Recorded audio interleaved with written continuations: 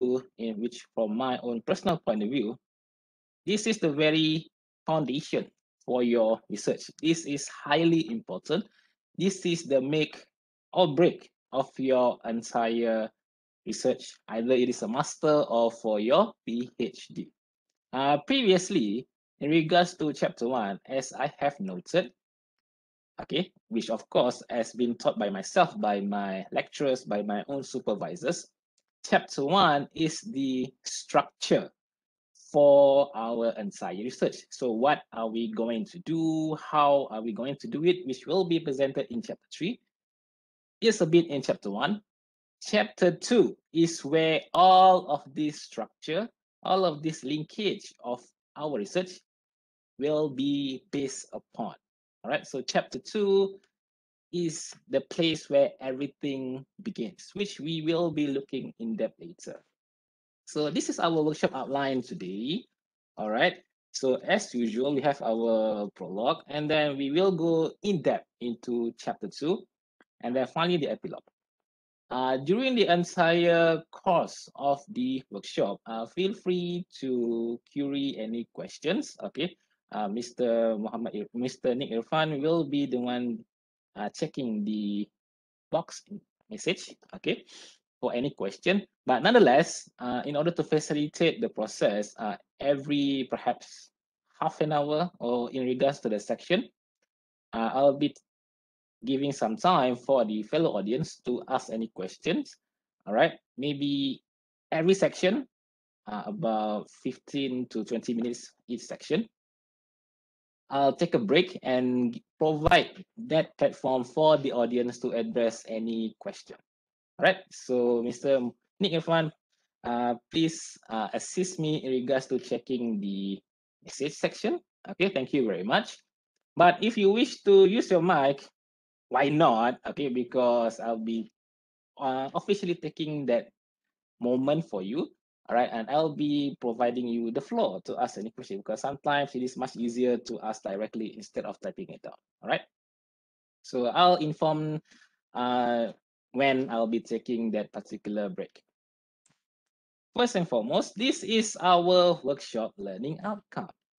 All right, let me adjust this a bit because I'm seeing myself instead of my slides. okay, now, upon the completion of this workshop, the students shall have a good grasp on the very fundamental, basically how to do it.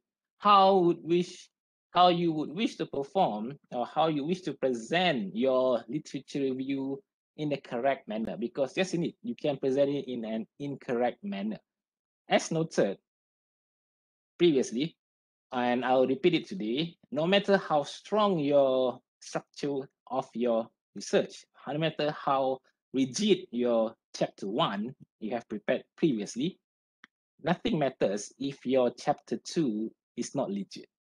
All right because everything will return. Everything will goes back to chapter two. Your literature review your citation your references. No matter how strong we prepare but without the basis it is gone. All right the examiners will have a field day I cannot emphasize how much enjoyment your examiners would have if your chapter 2 is not presented in the best way possible. So upon the completion of this workshop, you shall have a good grasp on the fundamentals, means that the key elements warranted, not just has to be there, it is warranted to be there in order for us to showcase our research. Okay. For new students, maybe you are about to register or planning to register. It's all right. It's okay. Okay. New students shall have the initial step. This is your, in a way, introduction to academic writing because I've yeah mixed around with different various levels of researchers. Okay, and it doesn't matter either you are senior level, okay, you are well experienced, well versed. We always have the opportunity to learn. And for those newcomers, actually, it is much more advantageous to you. Why? Because as we have seen in real life situation, an empty cup is much easier to fill in comparison to a half full or almost full cup. Okay, so good for you if you are new, good for you if you are fresh, amateur, they might say. But from my own perspective, this is where you can learn the most. Uh, it is much difficult to improve once we are already at the experience level.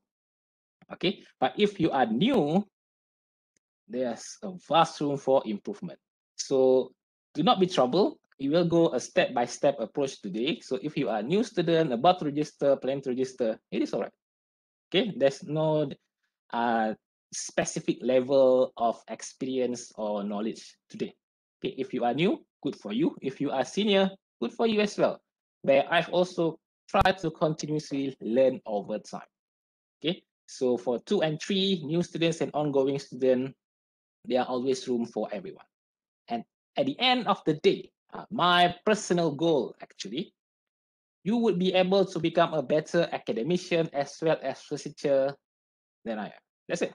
Because that is academic, that is education for the pupil to finally surpass the master, for the pupil to become better than the teacher. So my hope today is that upon the completion of this workshop, you will be a much better student than I am overall, and of course, a much better researcher later on. Okay, therefore, we are continuously moving forward. We are continuously become, as noted by Mr. Nick Irfan earlier, a better society. Uh, means that we continuously improve over time. Okay, so that is my expectation for you. All right, regardless whether you are new students, or much more senior students does not matter. We try to improve ourselves over time. So let's start with our prologue. Ah, Mr. Nick Irfan, ah, open your mic. I would like to hear your voice. Do you listen to Yes, music? doctor. Do you listen to music, Mr. Nick Irfan? Of course I do. Uh, what do you like? Spice Girls, Destiny Child. Linda, Are Linda. you- do you enjoy those things? Uh, no, not really. My father would though. Oh, all right. So good for him. Okay. Because this is the question for today. Do you have a theme song? Now, this is how we're going to initiate our workshop today. To take a moment, all right. Uh, do we have a theme song? It's a simple question. Is there any particular music that you like, any genre for that matter, that you might prefer? And in a way that, do you have a theme song? So, Mr. Nick Irfan, do you have a theme song for yourself? Um, perhaps an alternative rock would do such me, as such as uh, oops. Limp Bizkit. You like Limp Bizkit? Mr. Nick Irfan? I forgot about I forgot what the uh, the band name was. I think it was uh, Lost in Sound something. Oh, all right, that's something new. Okay, so check it out.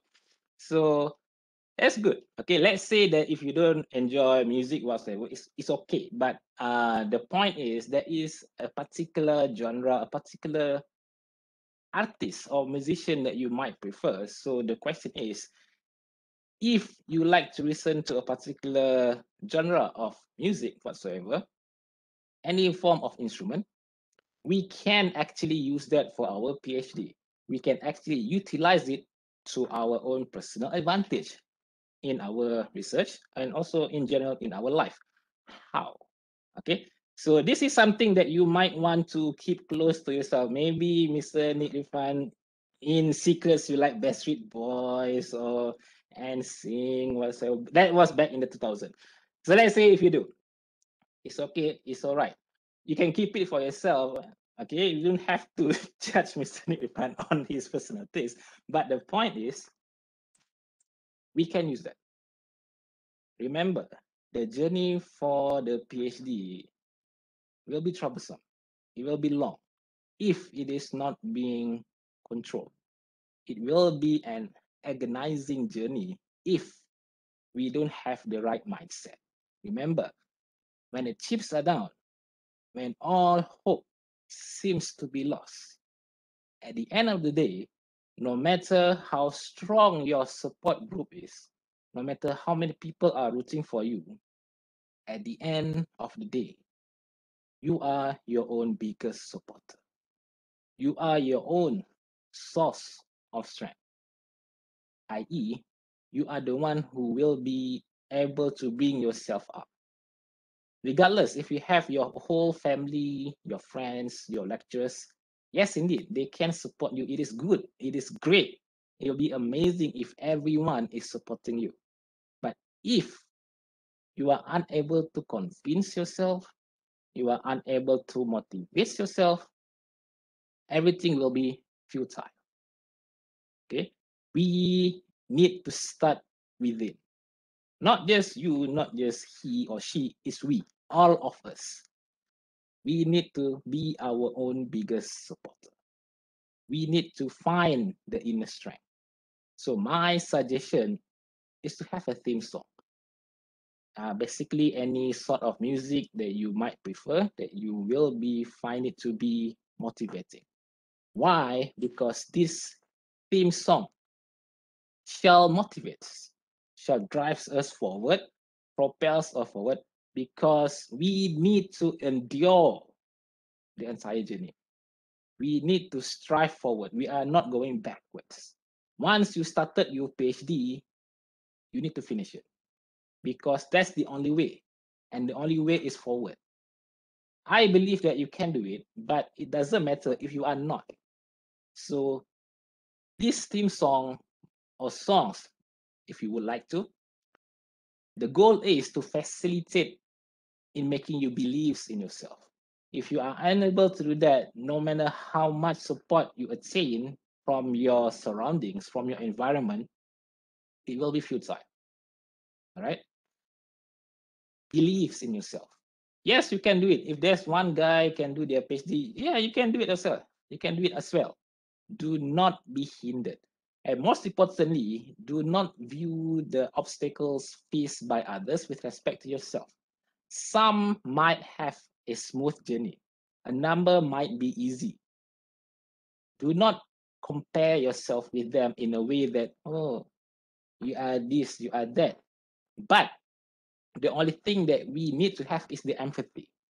Empathy towards others. If your friend is experiencing some trouble and or obstacles in their PhD, maybe just a an ear for them. Just listen. Have the empathy. Do not judge. Do not be judged. All right. In a way that we try to understand. Every one of us will be experiencing different level of obstacle, different level of challenges, different challenges whatsoever. All right. Hence, be available for each other. That's it. They might not want your much of your assistance anyway. Just, just listen, perhaps. And in a way that do not compare that, oh, that guy can do it easily because he is single, oh, she can do it easily because he has the money. Do not view it that way all right because that will be very toxic that's all okay? Everyone has their own challenge. Regardless how easy or how smooth it was or you were there are certain level of difficulty which will be experienced. So be strong yourself and be strong for others if you can right because as noted phd should not be a lonely journey yes you can have friends yes you can have colleagues support each other, have empathy with one another. That's it. It's not difficult. Okay? Because at the end of the day, it is a journey of ourselves. We need to complete it. All right. And this is example of one of the several theme songs that I have. Okay, this is by Within Temptation. And as noted here, this is with respect to motorcycle because I love motorcycle. And this particular video, I'm not promoting the video whatsoever. It's not even my channel. Okay. Uh, I don't even have a channel for that matter. Yeah, the sounds of inline four going at the red line, as well as the words in the lyrics of this particular song. Yeah, it drives me forward. Uh, this is one of the songs that I hear almost daily during my PhD research. Okay, uh, it's about going faster. And yeah, it's TT, Isle of Man. So you have to go faster because this race is a time attack. similar to PhD. It is a time attack.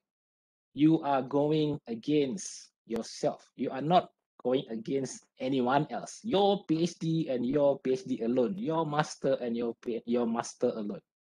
You are not going any against anyone else. Hence, PhD is actually a mind game. We are going against ourselves. Some say we are our own worst enemy. True. Hence, play to me.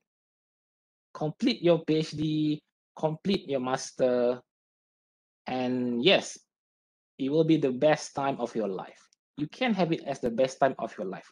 How? Because you can network, you can connect with other people, and finally, you can contribute to the pool of knowledge. What else would you want? That is like the best life ever. All right.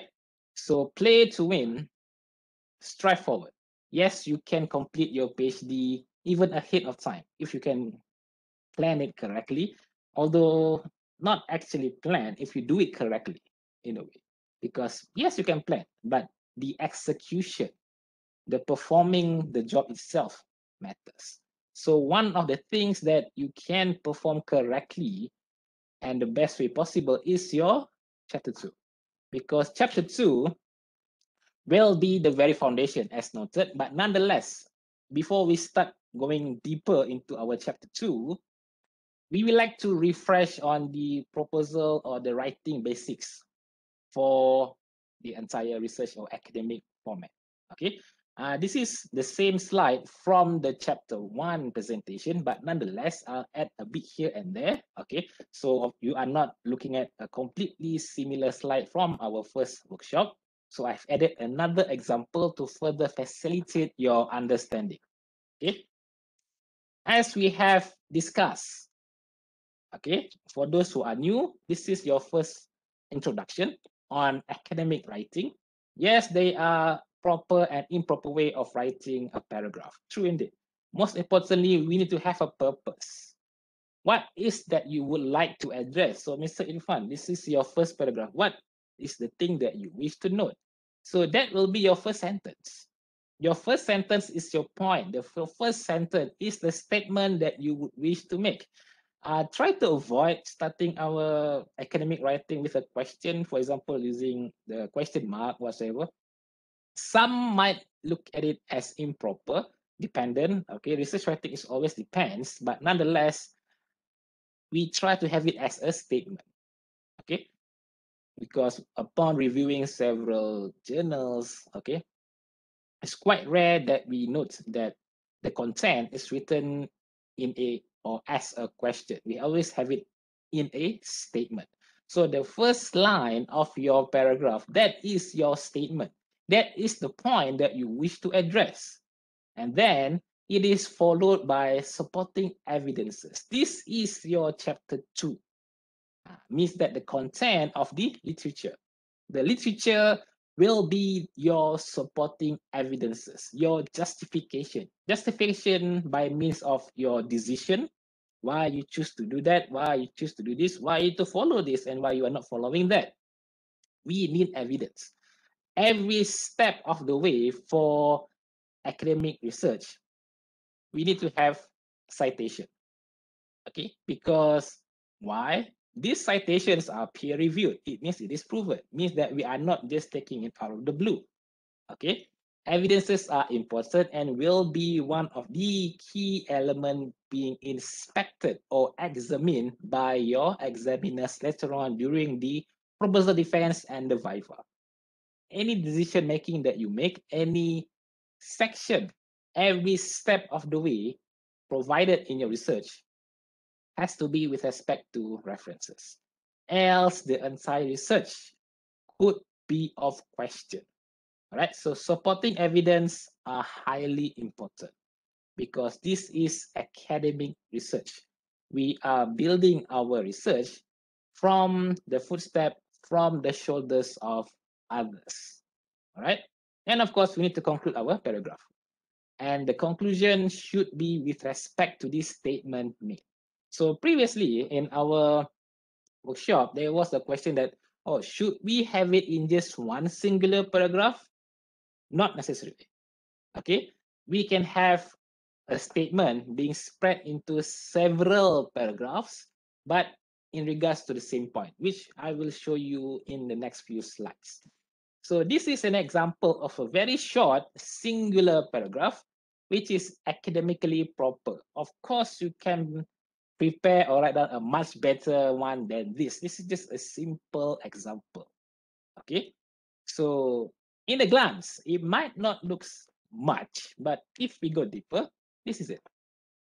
The purpose of this particular paragraph, just to note that motorcycle ergonomics are not generally studied. So I've seen from the participant, Miss Audrey, you are here, isn't it? so Miss Audrey is my office mate, and she's one of the uh, researchers in ergonomics as well. So Miss Audrey, I'm sure that you would agree on this statement.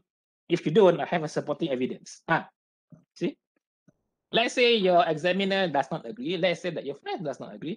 It's okay because I have a supporting evidence. That's it. The examiner could not shoot you down. They cannot bring you down if you have evidences, especially cited with respect to peer-reviewed and up-to-date journals. Uh, so make sure it is up to date. So this one, which I'm showing you right now in the green box, it is in 1996.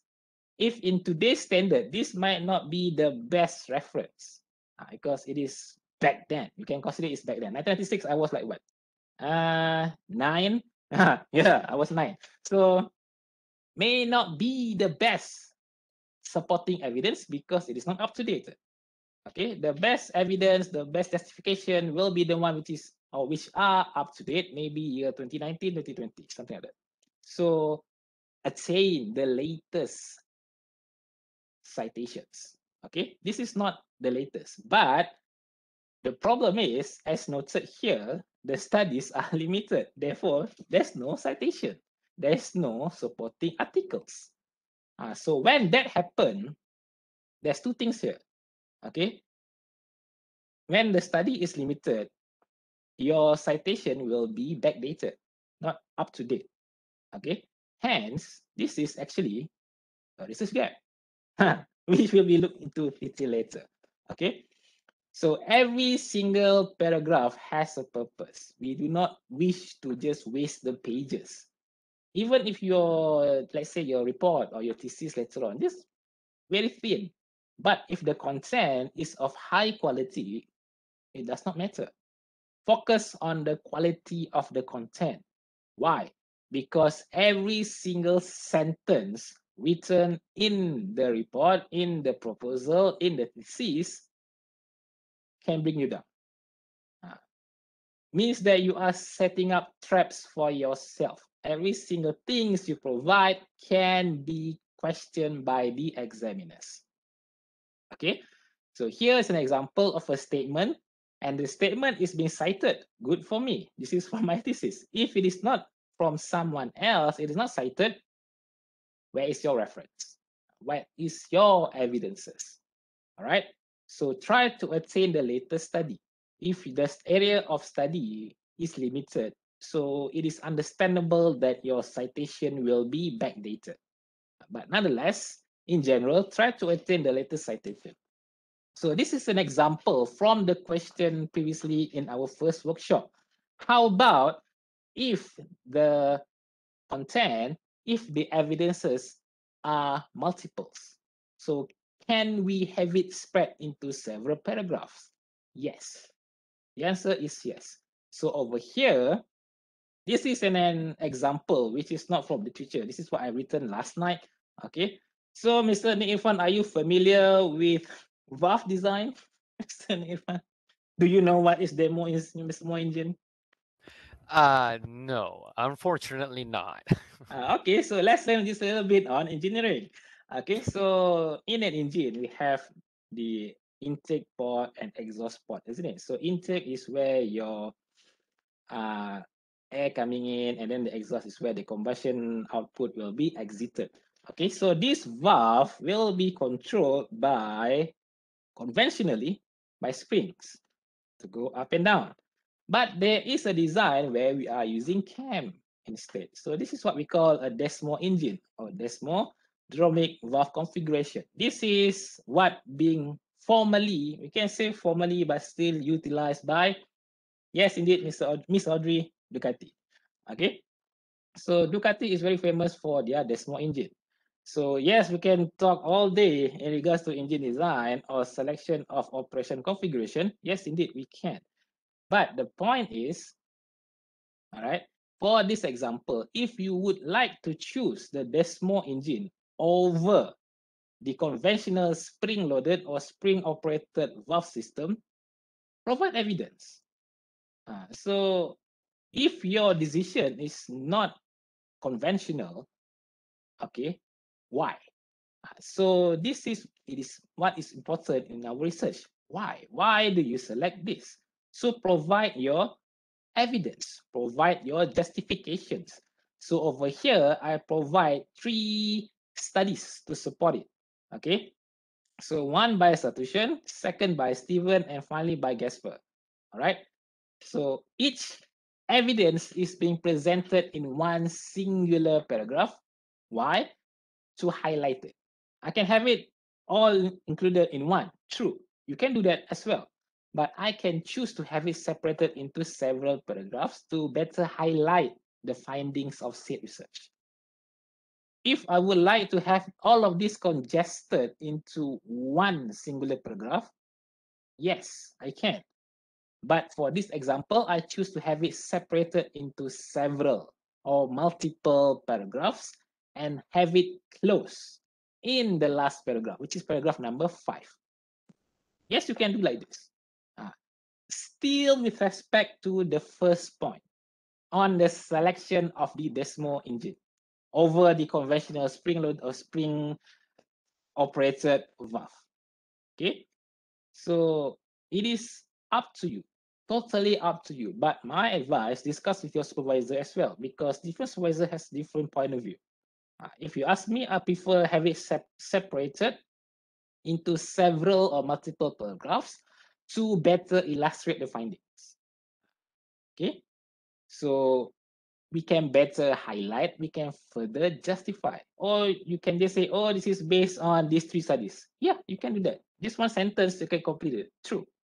Uh, but if you choose to better go in depth to showcase each study in detail, you can do that as well. So there is no issue in regards to uh, what if my evidences spread into several paragraphs? Yeah, sure.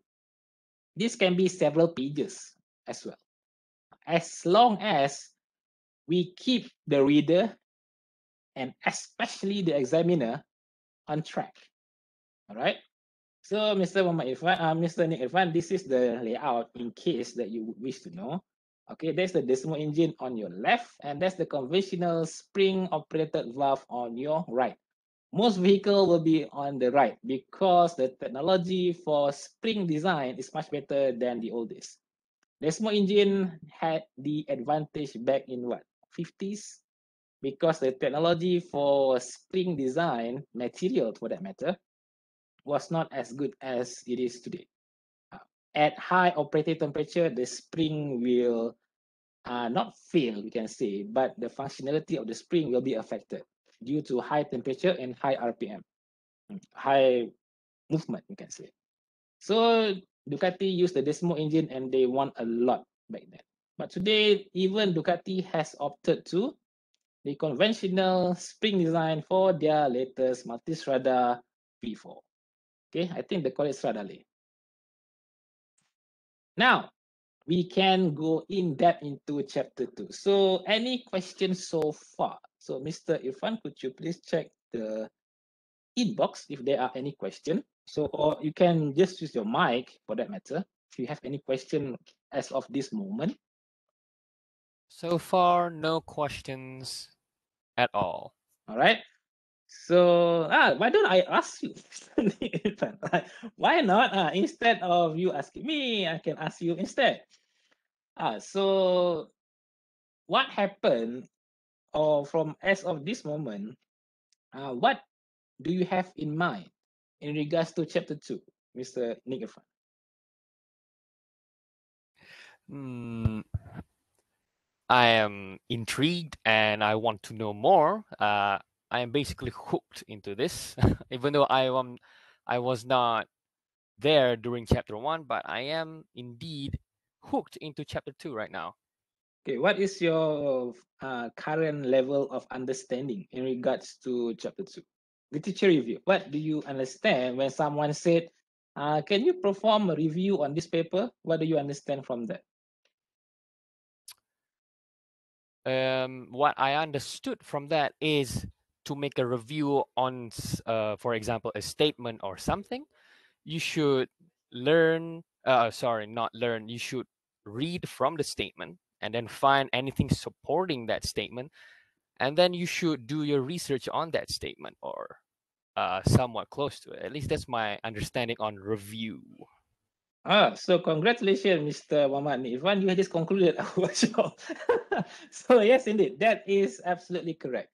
So let us go one by one with respect to the feedback given by our friend, by the moderator, Mr. Irfan. Okay, uh, he said that we need to study the statement first. Okay, and then we need to review it or we need to analyze it. That is correct. And that is what we are going to do in chapter two anyway. But there is a specific way in performing the, we can say procedure as noted by Mr. Nick Irfan earlier. So this is the beginning of your in depth into chapter two workshop. This is where we go deeper into understanding how to perform the proper academic review of the literature. All right, so let's go in depth. So this is from uh, the previous workshop as well. Okay, this is the general linkage of a research proposal or a thesis. Okay, this is how our research, your content, my content, our content will be interconnected with one another. Okay, a good research will be interconnected with one another means that there is no disjointed area. Everything makes sense, everything flow as it is supposed to be. And as we have as we are seeing right now, chapter 2 is where everything originated. Okay, this is where the part which I've noted earlier. Chapter 2 is the foundation. Everything returns, everything can be traced back to the literature. If it is not, something is missing somewhere. Although, regardless, oh, I'm doing intellectual property, I'm designing a pattern, whatsoever, everything can be traced back to a single point of origin, single point of inspiration okay and this usually originated from the knowledge itself from the literature. Okay? So if you wish to study something new or you wish to study something which have yet to be studied definitely definitely there is a starting point for what you are would like to address. You would like to investigate for that matter. So chapter 2 is where everything begins. Ah. So as noted here, as strong as your structure, as strong as your chapter one, what is your intention? What is that you want to do? It will not matter if the foundation, if the references, the argument, the necessity for that matter is not there. So you would like some you like to develop something new, you would like to study it. But if there is no necessity at all, okay, your entire study will be questioned. So practice extra cautious because sometimes, oh, I have an idea. Why don't we do this? Okay, sure. Find supporting reason why. Because as we know, the most difficult question which could be addressed to any postgraduate student, okay, why are you doing this? So the why comes from literature. All right. So this is what I've noted earlier. It is the foundation, the building ground. Your chapter two shall support the content for chapter one, chapter three, and some part of your discussion. Why some, not all? Because beyond chapter three, we are showcasing our own research. If your discussion is from someone else's work, what did you do actually? Okay. So beyond chapter three, the amount of literature as noted by my supervisor will be much more lacking. Uh, the most, of course, chapter two itself, and then in one and three. Chapter three, as we know, is about the research methodology. How we going to achieve our research objective? How do we wish to collect our data? The how part, the action. Chapter one is the plan, what we're going to do. Oh, this is what I'm going to do. How you would wish to do it is in chapter three. Okay. The decision making made in chapter three will be based on chapter two, your literature. All right. So let me repeat that again. Beyond chapter three, the amount of citation, if it is lacking, it is still okay. Not at all means that totally nothing, not like that yes, there are some part where we need to say, oh, this guy found it as well. Ah, correct. Okay, not everything.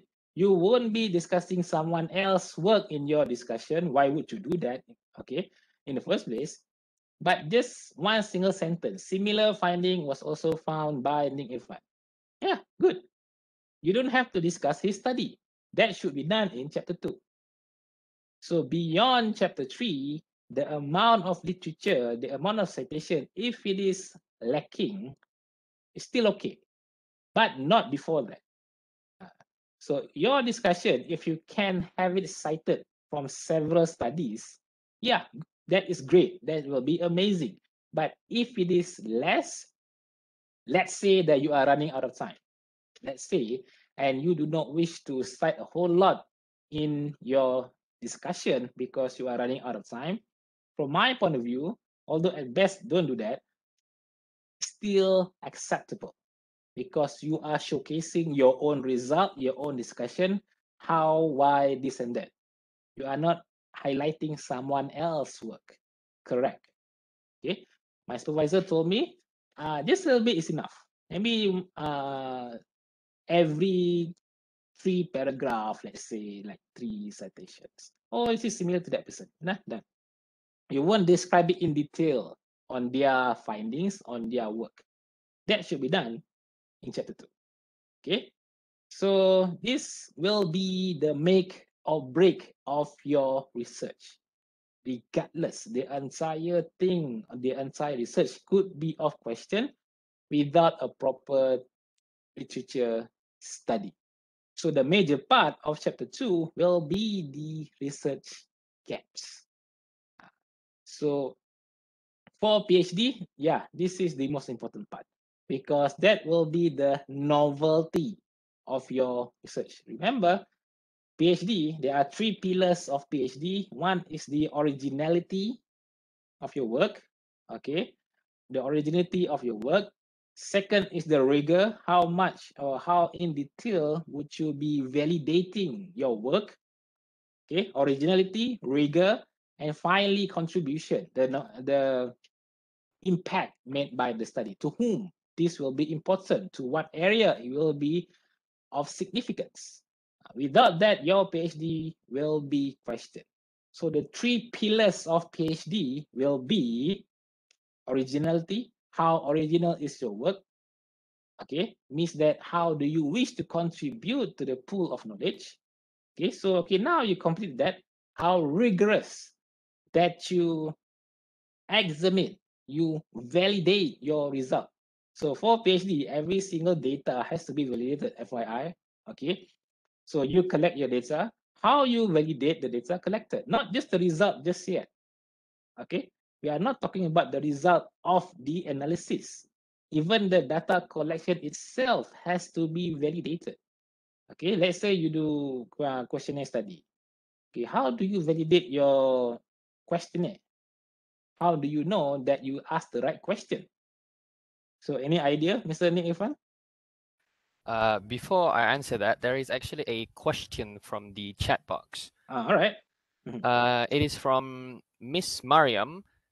Uh, they asked, to what extent is the literature review should be Ah, what alright. should not be Mhm. included and what should and what should be not What should be, what should not be not, isn't it? Okay, okay. yes All right. So one way to answer that, okay, uh, my supervisor advised me have a target. For example, literature review 30 pages. Ah, so that is the guideline, not beyond 30 pages, because we can go on and on and on on literature review because there are countless references that we can find over time. True. But we have a target. My supervisor told me uh, chapter 1, 10 pages, chapter 2, 30 pages. Around there, not beyond 40, let's say. So 30, 33, 35. Ah, okay, so everything has to be there within that content. So what to be there? The content of chapter 2, what should be there, should be on the supporting evidence for chapter 1, okay, which will be shown. So your question, Miss Mariam, the answer is in the slide as well. So thank you very much for facilitating the workshop. What do we need in our chapter 2 will be from chapter 1 and chapter 3. Anything that you have that you have presented in chapter 1 should be supported again in chapter 2 in much more detail and what you will be presenting in chapter 3 should be in chapter 2 as well. Okay, so chapter 2 is the bridge between chapter 1 and 3, like literally like the connection between 1 and 3. What you have noted in chapter 1, supported in 2, what you will be informing in chapter 3 will be made earlier as well. Okay, means that how you would want to collect your data as noted earlier, how do you sure that your data is correct? How do you validate your questionnaire? The answer is my questionnaire, your questionnaire is based on someone else's questionnaire as well. So you are referring to others. You are not just asking question out of the blue. You have references for your question as well. So for example, the question from your senior research. That's why networking is important. You can request the data collection tool from others. And secondly, there will be ethics board, if I'm not mistaken. Yeah, you need to present it to the ethics committee, ah, not board, ethics committee in regards to the question being addressed to your respondents. So that is how the data collection can be validated. One of the ways.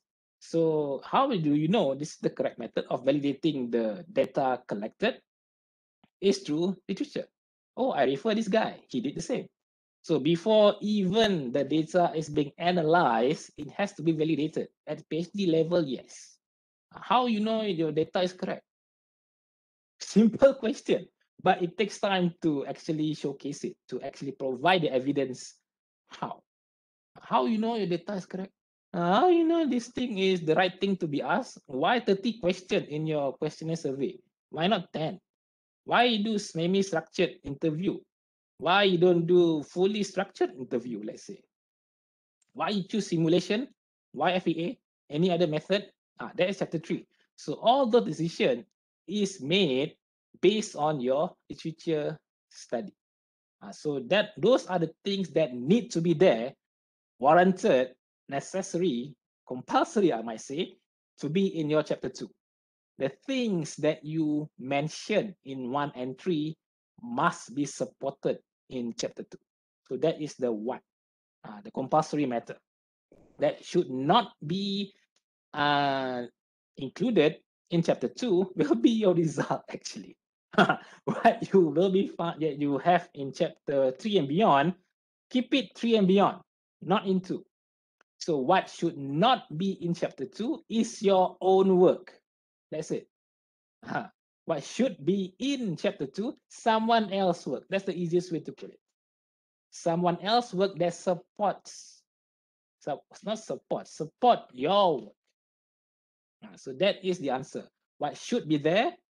Someone else work that will be the foundation for your own work. What should not be in chapter two? Your own work. So your novelty, your findings, Don't put it there. Let's put it chapter 4 and beyond. Okay, that is the answer for that question, Miss Mariam. And yeah, there is a slide for that. So we will be viewing that slide later on. So is there any one more question, if I'm not mistaken, Mr. Irfan? Yes, there Hmm. one more question from Mr. or Miss Hanita Hassan. Uh, they ask, usually in the study, we have independent variable, mediating variable, and dependent variable. Which one is to be emphasis first in the LR at the beginning of the writing? All right. So independent uh, resulting. Okay. Usually, if you ask me personally, uh, the independent first means that the one that we will have it. Uh, what's the best word to describe it? To have it fixed. Okay. The one that we shall have it fixed, that one should be presented first. Uh, but there's no cor- correct, incorrect way in which the arrangement of variables, as long as the variables are noted, it should be sufficient. But which one is which? That will be chapter 3 actually. Ah, all the variables are presented in chapter 2. So let's say you are doing on, I just read a few days ago, on cons consumption values. Consumption values, there are five fundamentals values of, uh, five values of consumption factors. Yeah, consumption values, there are five factors of it. Okay, there are five fundamentals. So just mention all these five first in your chapter two. Uh, in chapter three, you can select one of it. Uh, remember, remember, remember, chapter three is your how. And your PhD has to be in depth. You don't have to study everything. If there are five factors, let's say, you will be selecting just one. Uh, why you selected? Chapter two. What are the factors? Chapter two. All right. So independent, dependent, or resulting variables, that will be totally up to you. There's no there's no stringent way in presenting those variables. As long as the variables are noted, it is enough. Okay, because at the end of the day, your variables and the other guy's variables might not be the same anyway. Uh, as long as it is noted in chapter two, it will be fine. Because in chapter three, you're going to select one anyway. Okay, for this experiment, uh, this will be my independent variable. This will be my dependent variable. This will be my other variables. Yeah, you can do that. Okay, in chapter three. In chapter two, highlight all first. Uh, so these are the things that will be influencing this research. Okay, so this guy found this one, found that. Okay, uh, discuss with your supervisor. That is my advice because different supervisor they have a different take on this little things, personal style or personal preference. True. Okay, so try to discuss the matter with your supervisor first. If it is uh your supervisor say yeah whatever yes as long it is so find a way. In a sense that chapter 2 we shall have it presented all in general first. Uh, chapter 2 is usually general information. So you can show that oh this study have this as the independent variables this one as the dependent variables you can do that okay so thank you very much for the question Right, now we move on to another example. Ah, this is the question by Miss Mariam, if not mistaken. Okay, the method, ah, chapter three. This is an example of the chapter three content in chapter two. So you will be making a decision in chapter three. Okay, I'll be doing this. Why are you doing that? Because as noted in chapter two, this is what I found. Ah, so this study, the way they perform it, I don't agree with it. So I'll be using a different method. So okay, sure. Ah, It means that your decision, our decision, is not out of the blue. It is based on something. So that something is from literature. Okay. So this is an example of the content of chapter three in chapter two. Okay. This is another as well. So in reviewing this study, okay, such experiment should be conducted on a closed circuit. So in chapter three, I can see that I'm using a closed circuit for this experiment. Why? Because of that. Uh, I have reviewed a study. Oh, this guy did this for their study. It was good, but I don't agree that much. Okay, therefore, I'll be doing it this way for my chap for my own research. Uh, means that you are not totally following others. Why? Uh, so this is why. Uh, so we need to showcase that every single decision, every single step that we do, there is the need for a foundation of it. We don't just do it. We have it performed based on a reference. Okay. That is the correct way. That is the academic way of performing research. If it is not, then it is not academic research, just a research. Oh, I do it this way because I don't see anyone else doing it. You can do that. True. Oh, I just do it this way because I think it is. Oh, I just think it is this way. Don't think. Okay, academic research is that point of view. Okay, don't think of waste Refer the waste. Uh, how to go to Kota Bharu, for example. Uh, how did you go, Mr. Irfan, to Kota Bharu? Oh, I've never been there. Oh, okay, so I try to find someone who have been to Kota Bharu. They've been by bus, they've been by aeroplane, but don't cross district right now. We are in the PKP as of this moment. Don't go anywhere, okay? Be safe, okay? Uh, this is the uh, public message, a public reminder not to go out of your area during this COVID-19 pandemic, okay? So the point is refer. Okay, I have some guys from Kelantan, my friends. Eh? Ah, that is academic method. We ask someone else how to go there. Ah, okay. Oh, aku naik bus. Okay, naik bus. Okay, fine. It's good. Okay. Some say better naik plane. Senang sikit. All right. So now I have an option. That is review. I'm checking someone else what they did before. So chapter three I'll be choosing whether to use a bus or a plane. Uh, so that is the basis of my decision. All those train, uh, bus ride, plane tickets, all those things will be in chapter two. All right. So now the writing requirements. Uh, this is what the first question being asked. What do we need and how do we perform it? Okay, so any questions so far? Mr. Irfan, could you check if there are any questions. Um, no. All right. None, so, doctor. So how do we review? This is what being noted by Mr. Nick Irfan earlier. I'll be reviewing the statement and then I'll be analyzing the statement. That is correct. So good job to you, Mr. Nick Irfan. So I'll be looking forward for your PhD five years from now, most likely after your degree, of course. I need to do your degree first. Okay. So upon completing your degree, hopefully you can straight away go to PhD, perhaps. Mm -hmm. Never know. Never know. So yes, there is a writing requirements. What or how do we review? The answer provided by Mr. Nick Irfan earlier is the short answer, which is correct. Okay, I just check the statement and then I'll review the statement. Correct.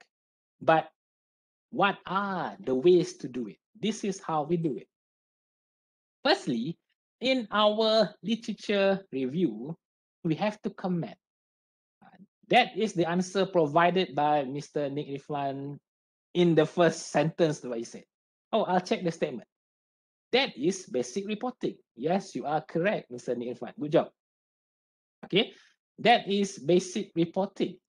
You just mentioned the findings of that previous study, what they did, what they found.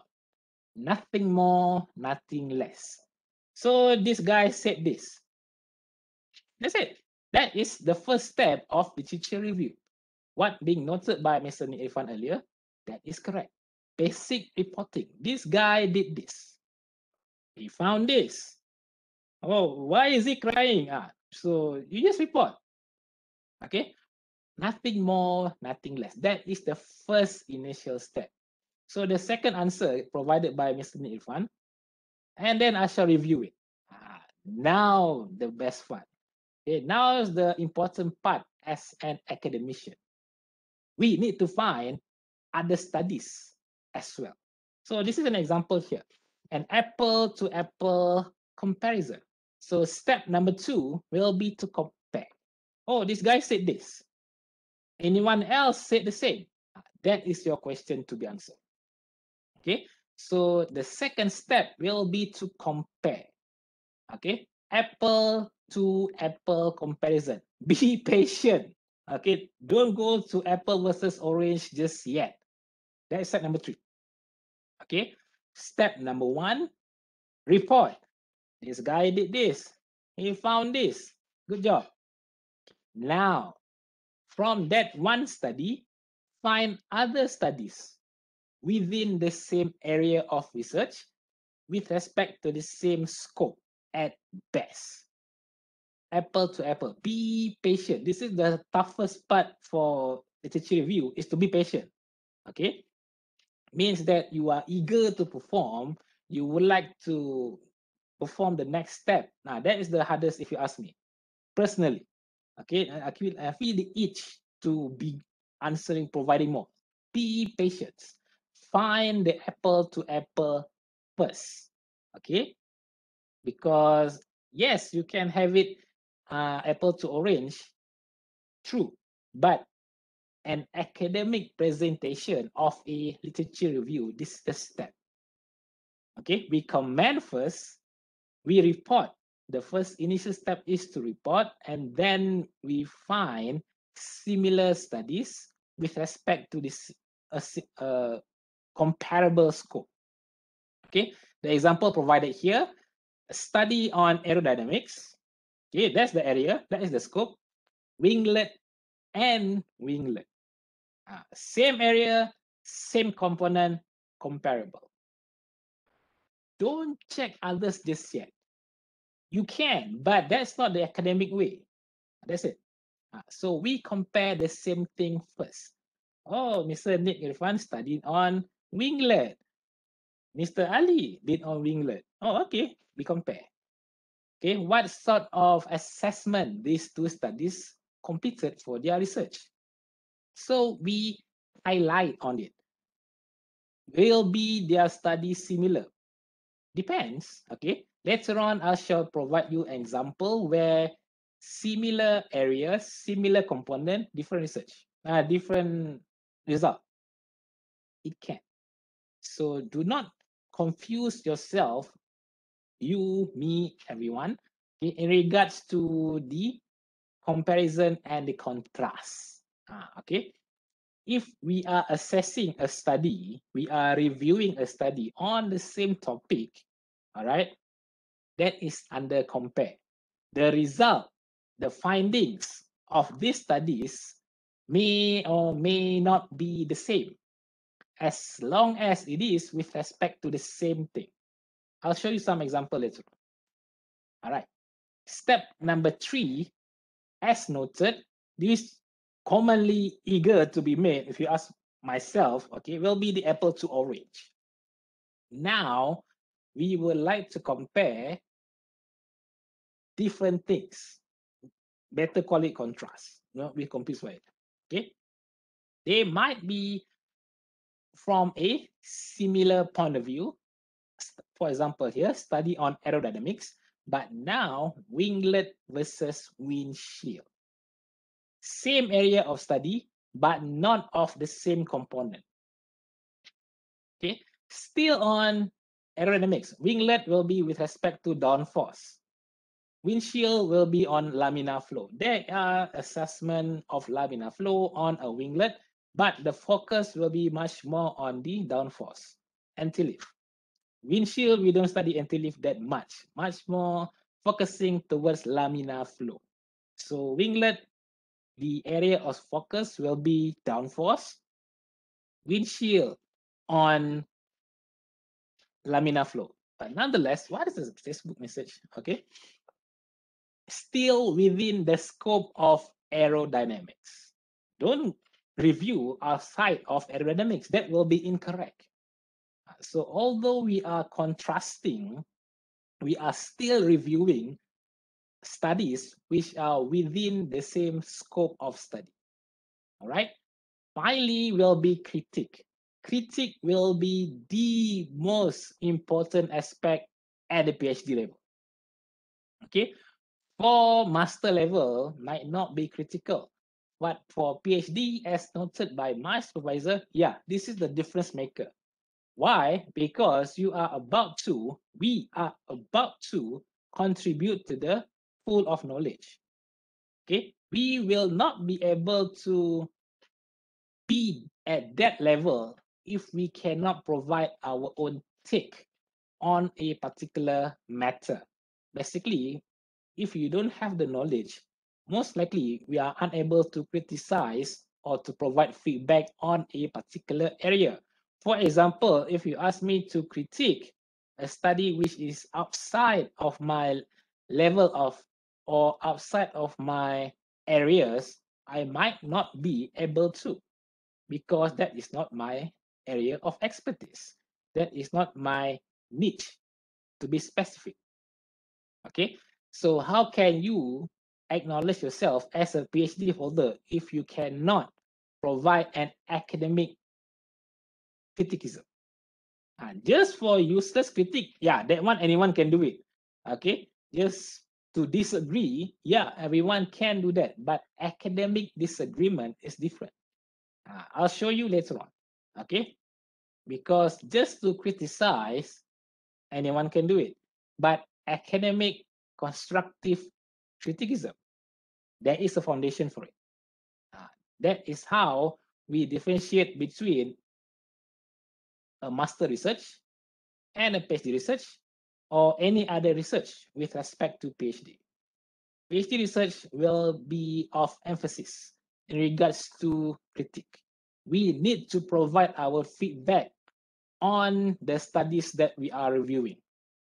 Do you agree or do you not agree? Either way, it is okay. All right.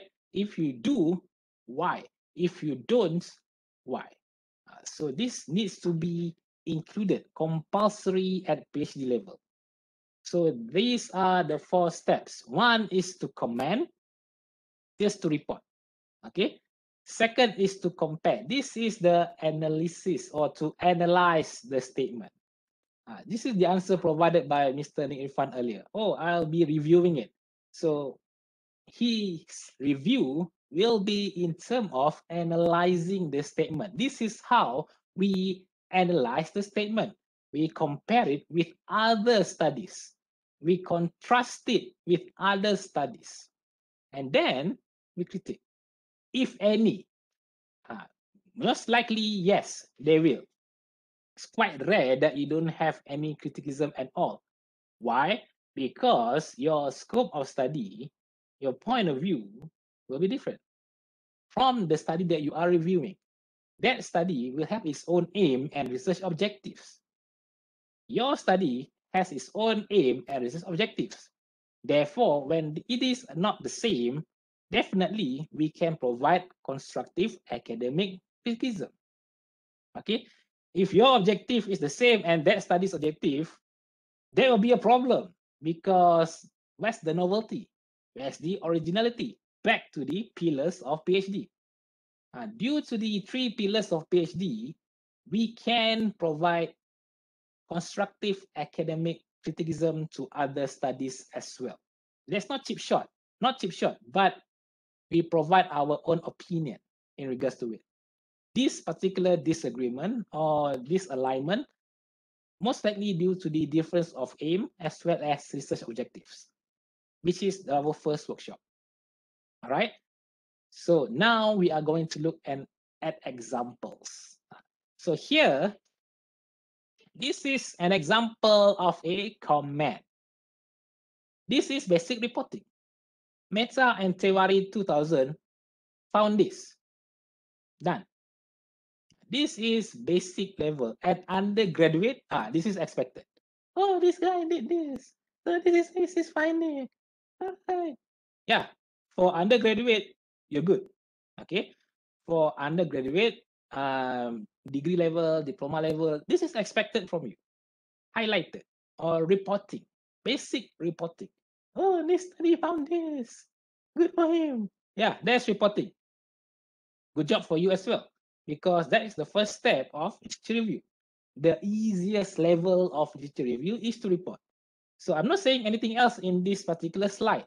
That's it. I'm just show that Mehta and Tiwari found this.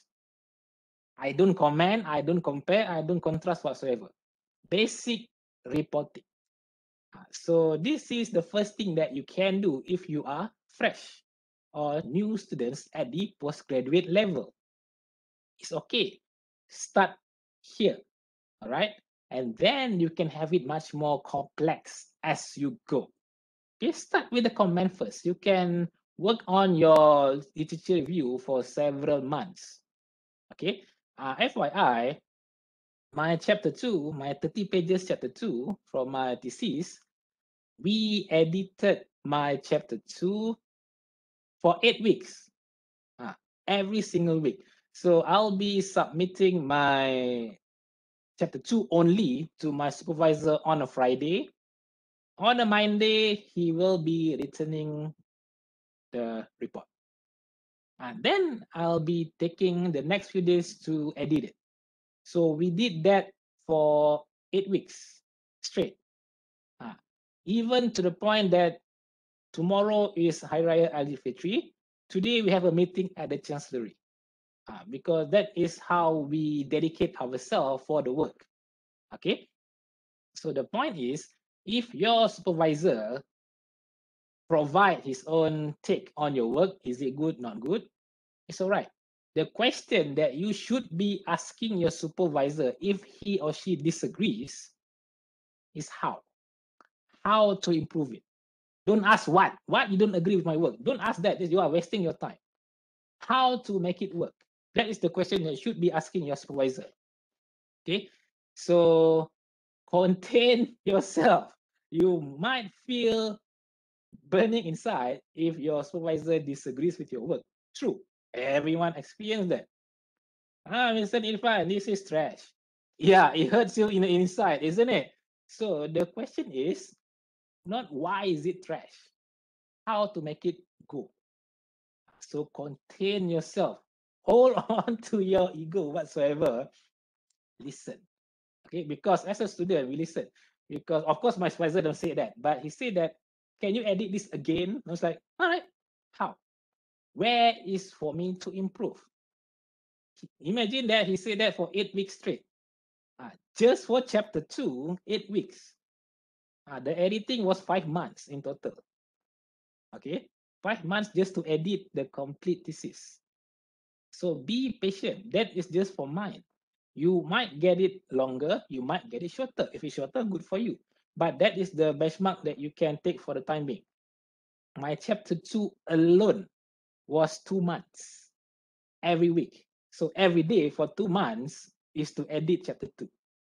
So if your supervisor return your chapter two, for example, if he disagrees or if she disagrees, don't ask what, ask how. How can I improve it? You need to hold yourself back. True you yeah you won't feel happy if you someone else return it. You know i still remember when i received my first master proposal from my great supervisor pm ismail. I'm not sure if you're hearing this but thank you very much for teaching me a whole lot. And first about patience okay? Every single line was in red.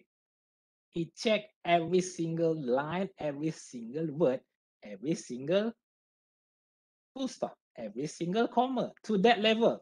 Everything was red for my first paper. Yeah, it's discouraging too, indeed. So take a step back. Ask how. How can you improve it? Okay, yeah, it takes a lot to absorb and digest that. That is the thing that we should learn as a student first to listen to the lecturer. Okay, that's the the first thing, the first uh, learning curve to have the patience. Okay. Once you have that, it should be easier. So ask how. How can you improve it? excuse me. So this is an example of a comment and reporting on the findings. Okay, so this is again on the Desmo valve. So in continuing our example in using a Desmo valve, so this study reports. That's it. I'm just reporting the findings by Citation 2019. Okay. Oh, I selected this valve operation for my study. Why? Because of this study. This is my decision making. Oh, Satu said it is okay. So I'll be doing it the same as he is. All right, sure. Uh, so there is a basis for a decision making. This is an example of a reporting from a singular paragraph alone. Okay, and yeah, this is true. The Desmo valve can work at high temperature and high RPM. Okay, but nonetheless, will it be sufficient for beginners? Yes. For PhD, we need more. All right. So this is the first step to comment to report. This is basic reporting. Okay. Here is to compare. Uh, to compare, we need another study. We cannot compare if it's just a singular citation.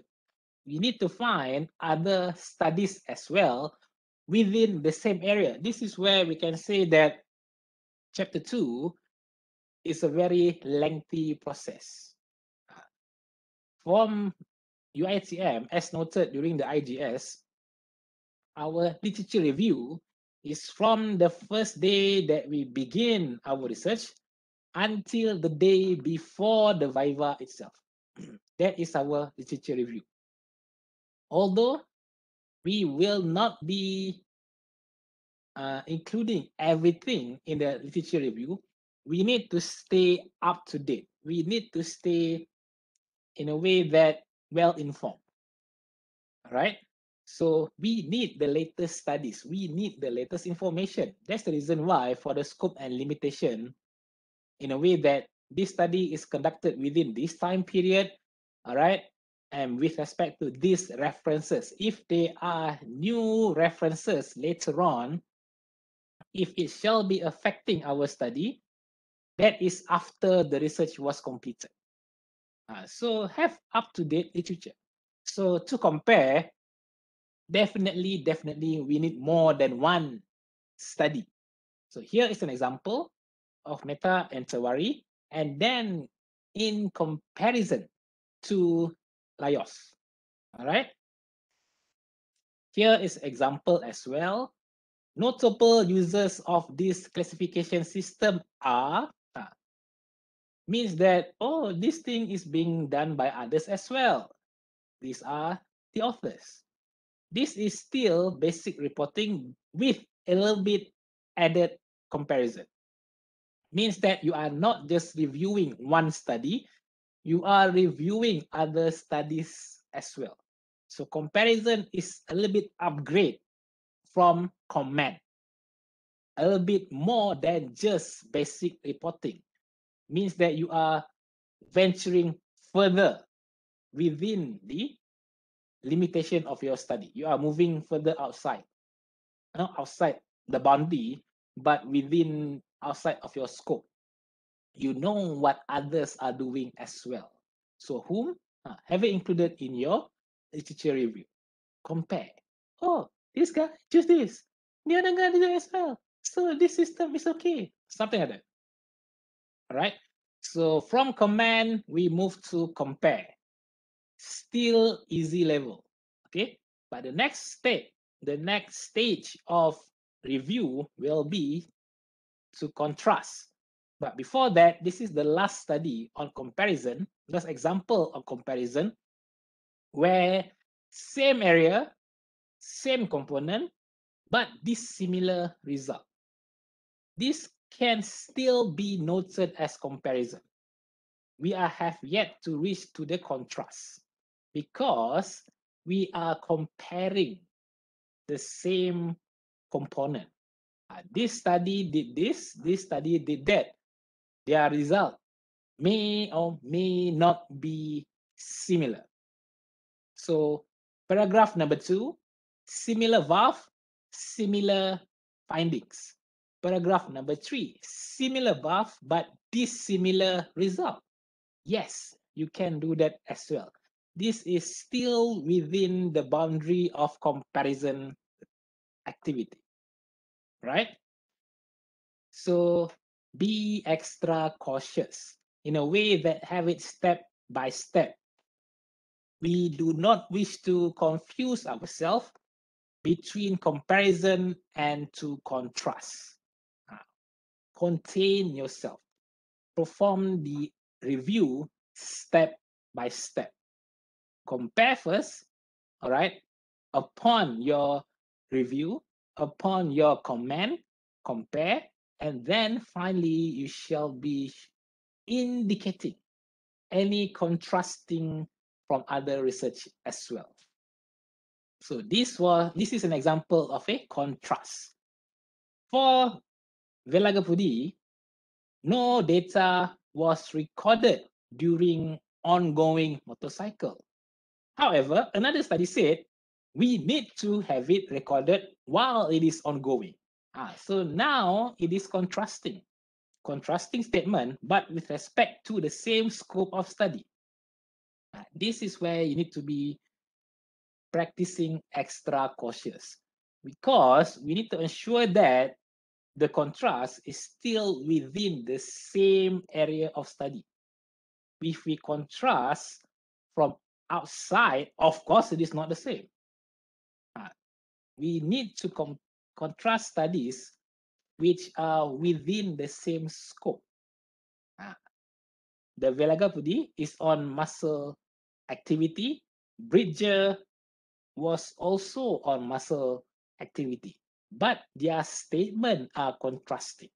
Their data collections were contrasting with one another. Okay, do not make the mistake of contrasting studies which are outside the same scope. Uh, that's the part where we need to be careful. If we do that, of course, it is not the same. It's the different area. It's common sense. Okay, so practice extra cautious. Find studies which are focusing on the same scope. It's quite challenging actually to find that. So we are actually spending more time to find for literature. So allocate yourself maybe some days or hours or maybe one times a day, two times a day in attaining good literature. Uh, is quite difficult actually. It takes time and it takes patience. Okay. We need to ensure that we are contrasting studies as noted within the same scope. Uh, if the examiner caught you that it is not, then it is a waste of work. Uh, so it gives a hint of uh, maybe not major correction, but a hint of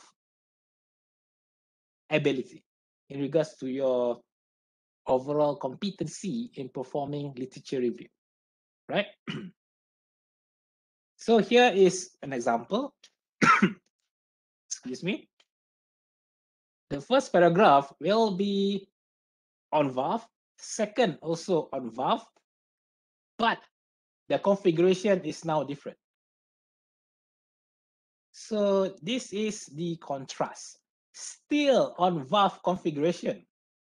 But instead of using the Desmo valve, I'll be using the conventional spring operated valve. This is the contrast. Okay, still on valve, but different configurations. The result may or may not be the same. Do not matter. Okay, as long as what we are contrasting is within the same scope of study, within the same point of view, it is correct. Uh, this is not comment, this is contrast. So minor correction on the first line a contrast with multiple paragraphs and citation. Okay. So the first paragraph will be to comment. The second paragraph is to contrast. the GRIMA study, still on Valve, but different configuration. So practice extra cautious in order to ensure that the one that we are contrasting is still within the same scope of study. That's the reason why we perform the comment and compare first. We don't immediately contrast because we would like to ensure the accuracy of our review. If it's jumbled up here and there, it's poorly prepared.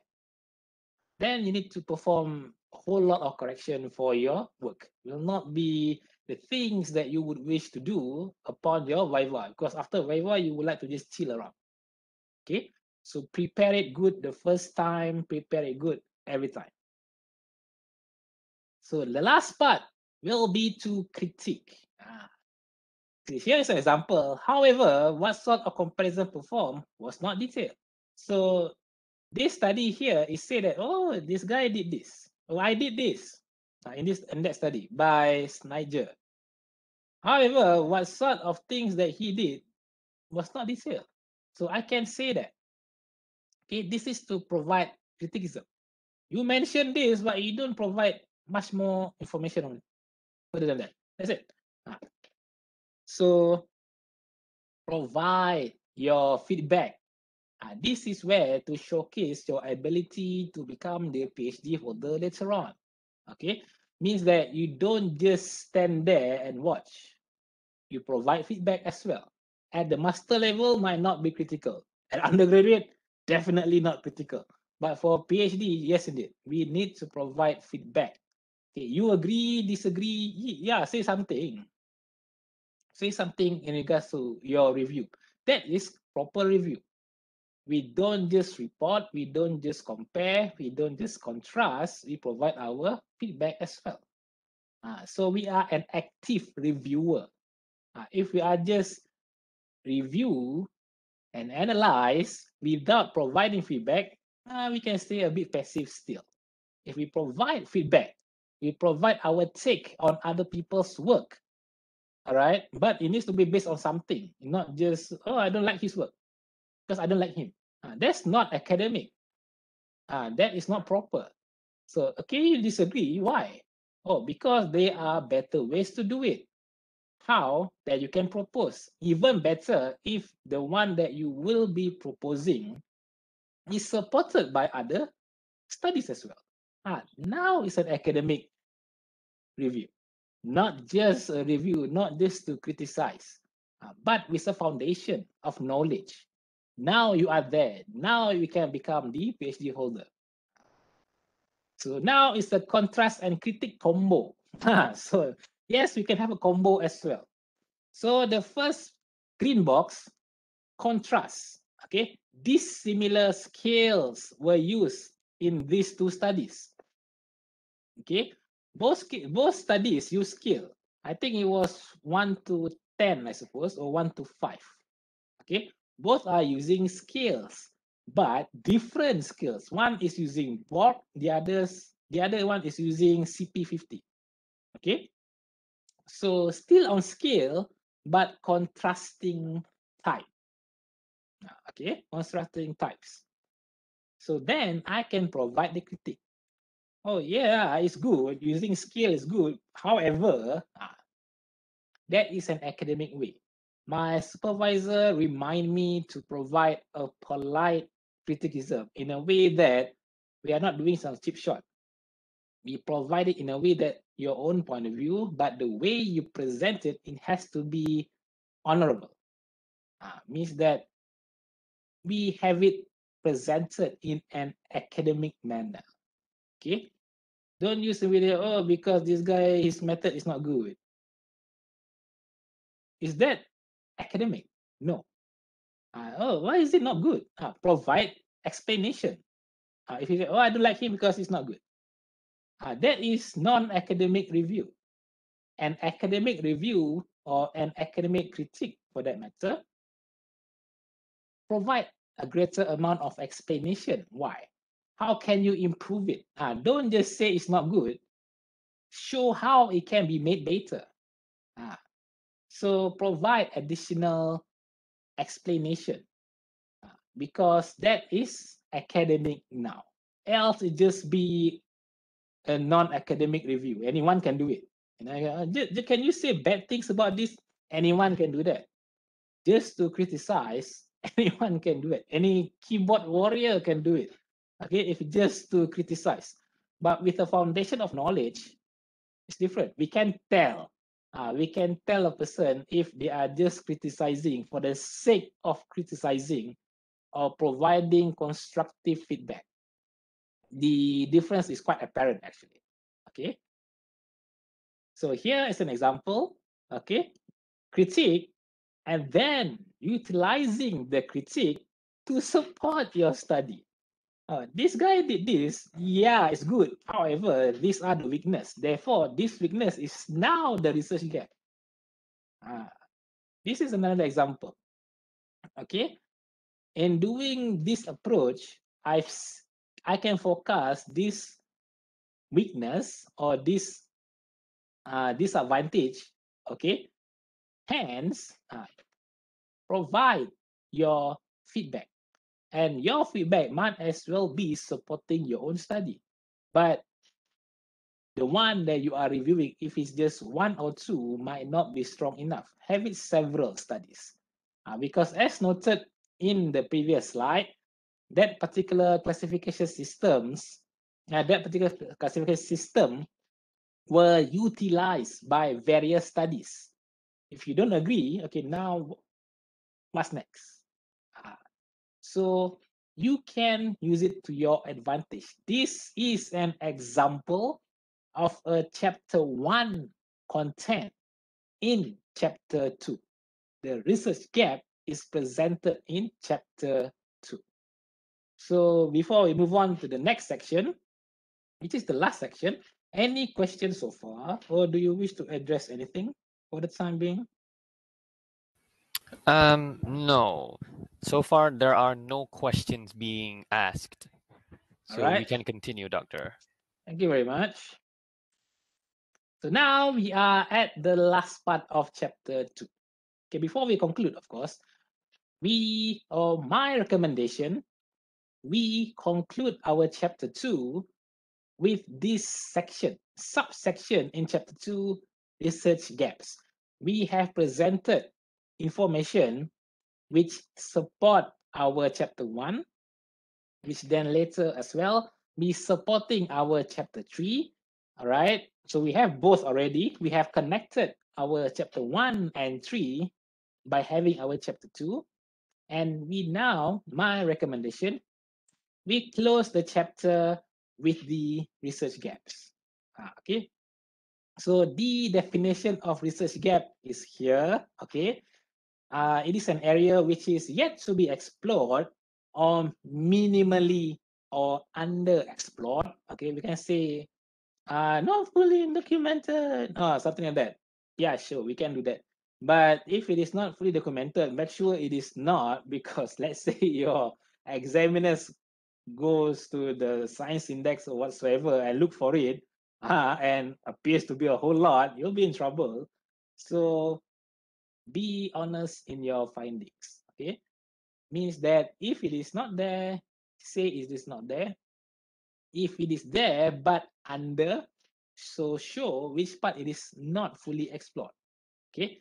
As we know research gaps could be explicitly or non-explicitly mentioned by the previous studies okay so this is where reading technique is important when you are reviewing your literature. Okay, so when you got your uh, references, your citations, how do you read it? Ah, that's another thing as well. There is a technique. Okay, we read not the whole thing in the first visit. Okay, we visit the same paper multiple times. The first time, just to go through it. Ah, that's one technique. The second time, ah, then we go deeper. Usually, we shall start with the abstract. Read the abstract first, and then the conclusion, not the introduction. Why? Because we would like to examine the findings of the study, the findings will be noted. What to be found will be noted in the abstract, and then the conclusion will be closing remarks. So we check just the two of that first. Uh, if it is related to your study, uh, then you can visit it again. Else, keep it aside, have it as your bibliography. Okay. So as noted here, this is an example of research gaps which are explicitly mentioned for future studies. More studies and explorations are recommended for this area. Good for you. Now you can do that. This study told you to do it. Explicitly mentioned. Other design parameters uh, could be studied. Good for you. Now you can do that. This study can be your major citation. Explicitly noted. If you can find, if you manage to found such citation, good for you. Ah, means that that's your luck to find it. Okay, so good job if you do. If you are not fortunate, for example, this one, this study only focused on the physical aspect of human error in relation to motorcycling. Other aspects were not examined. So this study do not provide the convenience of notification in a sense that oh, I don't do this, can you do it? Ah, not directly. No, it is not directly noted, but still, if you are able to read between the line, this is a research gap. Okay, this study provide the opportunity for further examinations. They don't tell you, but based on that statements, yes, you can. All right. So here's an example of non-explicitly mentioned okay for potential research gap uh, so read carefully do not read in a rushing manner that you might miss the little things. Uh, okay. So be able to read between the line. Be patient. Sometimes it will take a long time to examine a paper. True. Okay, if it's taking too much of your time, take a break, for example, take a refreshment. Um, excuse me, doctor. Yeah. There, there was a question regarding to the previous slide. I, if I'm not mistaken, Right. from Miss Mariam. She asked, "Do we have to put citation in a research gap statement?" So depends. It depends on the research gap. Okay, if it is noted as here, okay, uh, this one you need to provide citation. This study told me to study this area. So that is the research gap as noted by a previous study. Uh, I think this slide should be able to explain better to the question or to answer better to the question. In certain aspect, yes. Okay, means that research gap. Okay, how do you found the research gap? Oh, based on reviewing this study. This study said go ahead and study this. So okay, I'll study this now. Ah, so means that you are now going to contribute to that particular area of research, uh, explicitly mentioned. If it is non-explicitly mentioned, yes, you can have it informed as well. This study said that he or she only completed this area of scope or this particular scope of study. Therefore, other areas outside this particular scope now can be studied. That is research gap as well.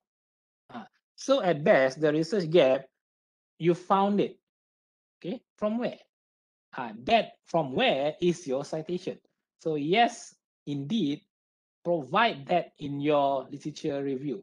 Where, where you found this? Ah, oh, I found this by examining this paper. Ah, okay, good. Oh, I don't find it anywhere. I looked through this area, but nobody did this. Ah, okay as well. No citation means that you want to do that area, but you cannot find anything. Means that nobody is it is indeed underexplored. So what anyone, what everybody else have completed, you should inform as well. Ah, oh, this area, nobody studied this. I don't know why. Ah, you can include that. Okay. Ah, there's another question, if I'm not mistaken. Mr. Irfan? Yes, doctor. From Mr. or Ms. Zuraini, uh, they ask, Doctor, could you please show an example how to determine the subtopic or flow of subtopic in chapter 2? Oh, all right. So the flow of the chapter 2, what can be presented? If you would like to ask me that question, I don't have the slide for that, but how to do it? We can use the structure from chapter 1. Ah, okay, so the flow of chapter 2 is that first we will go through, we visit our chapter 1 content. So let's say your 1.1 is introduction, the background of study, where the whole, the bigger picture, uh, start from the bigger picture first. So 1.1 coincides with 2.1. Uh, more detail of the things from 1.1 is provided in 2.1. Okay, so if your first paragraph in 1.1 is about motorcycle accident, okay, you can have it in one paragraph. Oh, there's a lot of motorcycle accident. So I want to do that. All right. So in 2.1, you will be informing on the accident, but now you provide the statistics, worldwide statistic. Oh, in this country, this much, on that country, that much. We do not wish to over condense our chapter one. Chapter one is about just what five pages the most or 10 the most. Okay. The things which are more detailed on chapter one is presented in chapter two. Ah, the background of study. Chapter one is like a summary. 1.1 is the summary of 2.1. So have it interconnected. Okay. So the background of study. So start from there.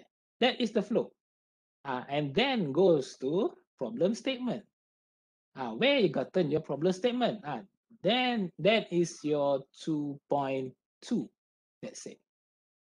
How you get it? Uh, once you have completed every single subsections from chapter 1, you move on to chapter 3. Ah, so then the things in 3.1, the decision from 3.1 is made by the review in 2.3, let's say. Uh, it's interconnected. So from there, we can see the flow. We start with chapter 1, the information, and then chapter 2, return back to chapter 1 in a way that we provide more information. So the problem statement in 1.2, let's say, oh, these are the statement. Where you gotten that statement?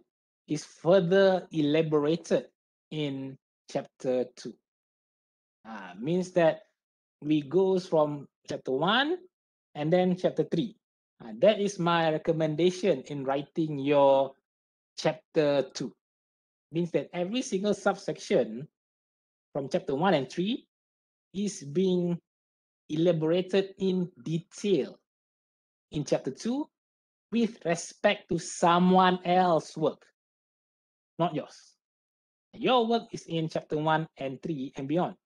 Chapter 2, you are reviewing others. Okay, so my suggestion, the flow, you need to refer your 1 and 3. Ah, so your proposal, actually, you, you can do it in a concurrent way.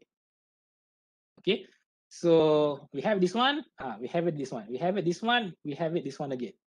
So the flow of chapter 2 will coincide to the flow of chapter 1 and 3.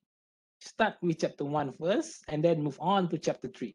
Because as I've noted earlier, everything returns back to chapter 2. So in much more detail or an elaborated manner. So chapter 1, just all surface level. Chapter 3, all decision level everything will be based on chapter 2 as a standalone. Uh, that is my suggestion. You follow the flow of your own research.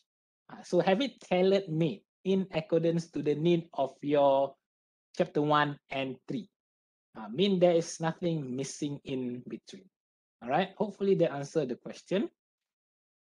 So here's what we have seen earlier. Another one here, and also another one here. Okay, this is the content of chapter 1 in chapter 2. This is the problem statement.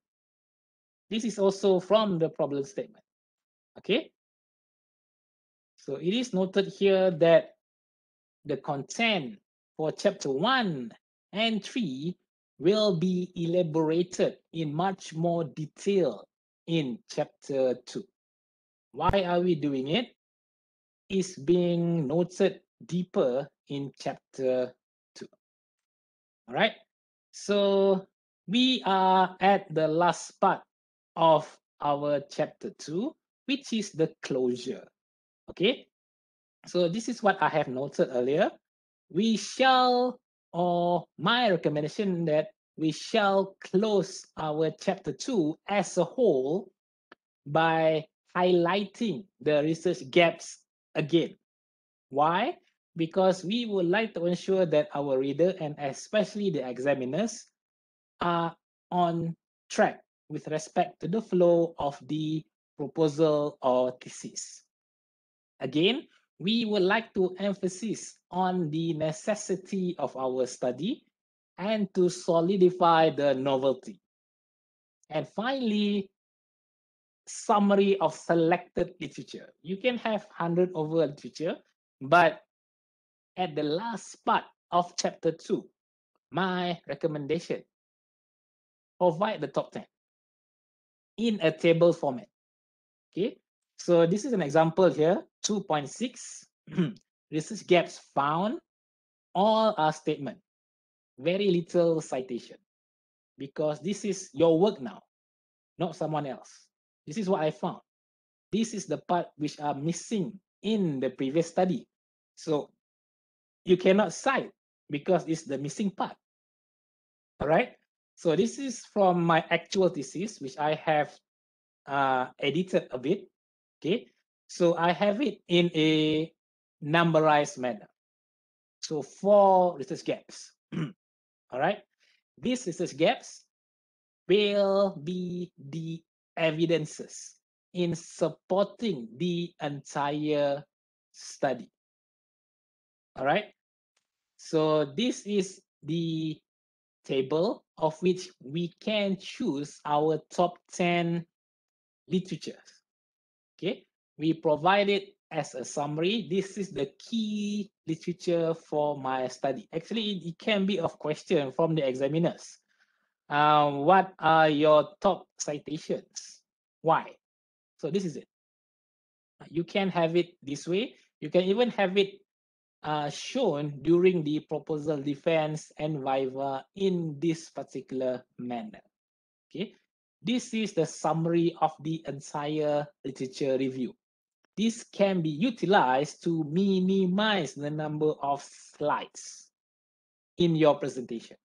Because remember, you have 20 minutes for everything. You cannot have 70 slides for your slideshow. Yes, you can, but you are rushing. It will not look appropriate. So certain chapter can be summarized in such a fashion. So chapter two, we can do it this way, right? So finally, the conclusion to this workshop, okay, as noted, literature review is the foundation. Without chapter two, there is no research at all. We can say that. Okay.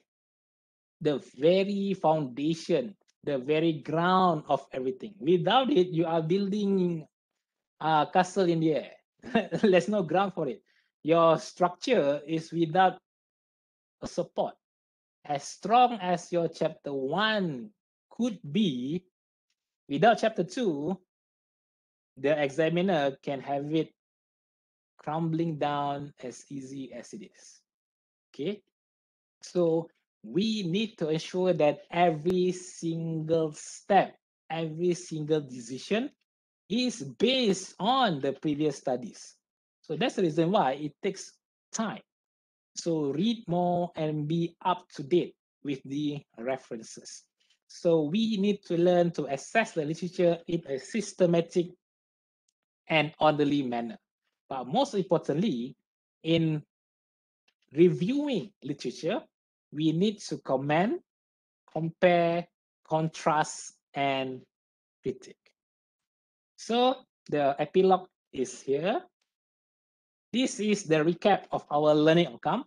Uh, hopefully, by now, you shall have a good grasp on the fundamentals of chapter 2. Now you can start your chapter 2 if you are a newbie okay you are new students. Don't call them new of course. But let's say they are just getting started. Everyone is a beginner. Remember that. I'm not saying that there's a quote from honda. Uh, when honda joined the f1 in the 80s they don't know anything. The honda the top players said that everyone is a beginner at first so it is okay. If you are not sure, it is all right. Try. Then slowly improve. So for ongoing student, improve your literature. It's a never-ending process, true. But learn to have a way that you stop doing it and submit it for your proposal. Do not be a perfectionist in this particular manner. If we would like to edit our work, it's an endless endless procedure an endless trip. So have a time allocated. We need to submit. We need to have it completed within or at best before time. So if we would like to edit everything, we will be never complete our PhD. Uh, doctor? Yeah. Excuse me. There is another question. Ah, from... let me finish it first and then we have it. All right. All right. Okay. just a bit more. Thank you very much. So hopefully by the end of this workshop, you will be a better academician and of course researcher than I am because it will be an endless journey of self-improvement. If you become fast, uh, need to become faster. That is the best part of this. Okay, we improve each other. So based on your questions, based on your feedback, I need to improve my presentation. I need to improve my slides, so on and so forth. So I need to become better as well. Why? That is how it is fun. That is academic. Academics should be fun. We make ourselves better upon meeting one another. It's an endless journey of self-improvement. So, as we have discussed at the beginning of our workshop, remember that we, you, as of right now, you need to become your own biggest supporter, your own source of strength. No matter how good or how rigid your support group is, at the end of the day, it will be from yourself. So have the inner courage first in order to complete your PhD. So thank you very much for myself. Okay, so now let us address the questions. Uh, feel free to contact me as well after the workshop. Okay, you can contact me anytime. You can just uh, WhatsApp me or email me whatsoever. You are highly welcome. So what is the question, Mr. Nick Irfan? Um, okay, so we can commence the Q&A session. We have two questions as of now. One uh, from Nur Azura Muhammad Yusuf. They ask for 10 key references, should they come from empirical work alone? Depends. It all depends on your research because you are the one who will be deciding your top 10, your top five. Uh, the goal is this literature will be the one that you will uh, cite the most. Okay, uh, it depends on your own study. You don't have to compare it to others. It can be empirical. It cannot be not empirical. Does not matter as long as these top ten studies could justify the need of your study, could be the best evidence for all your decisions, then so be it. Uh, because if you can, if the examiner question you, why you select this one? And you can present yourself, you can defend your decision, you can stand to your own judgment, no problem at all. Uh, so this is your study at the end of the day. Your supervisor will be the guide. Uh, the PhD is for you so you decide your top 10. So find the common ground if the supervisor is involved, where to select the top 10 for instances or the entire study for that matter. Okay. At the end of the day, you will be the one facing the examiner, not your supervisor or anyone else. So it's your decision. If you think that this literature is the one to be your top 10, that is on you. You need to be able to defend it. You need to be able to stand by it. Ah, that's it. Okay, thank you, Doctor. Now on to the next question uh, from Nurul Huda binti Nik Zulkifli. In your opinion, Doctor, how many references would be sufficient in producing review paper? Oh, review paper. Okay a review paper, uh, for my own personal point of view, I think anything above 15 should be okay. Uh, because it's a review paper, so you need to review studies, isn't it? So anything above 15, 20 something should be nice, but it depends on the area actually. If the area is underexplored, it might not be anything at all.